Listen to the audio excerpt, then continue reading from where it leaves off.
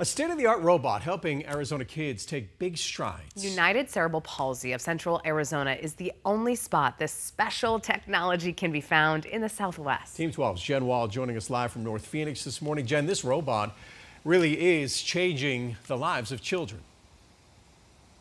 Yeah, you got it. It is absolutely incredible. I got to see the robot in use firsthand.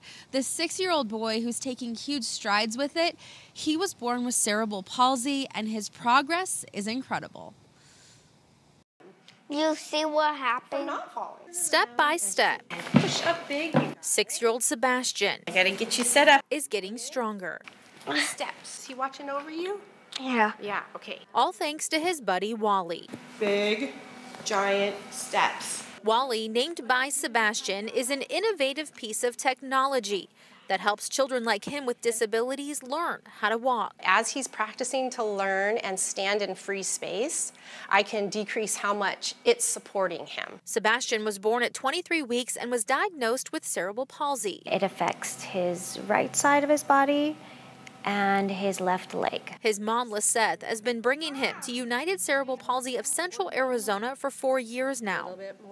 The center's new robotic zero G gait and balance system gives him body weight support while he moves along its track. He has uh, muscle imbalances, and so it's difficult for his body to coordinate movement of the trunk, movement in the limbs, the hips. Sebastian's progress with his robot is bringing a lot of firsts for him and his family. Where now I can walk with him holding him by one hand, which has never happened before. And Sebastian's mom says this achievement will not be his last first. And I know that in the future he will take steps on his own. He will take steps and walk, and that is our end goal and my hope for him in the future.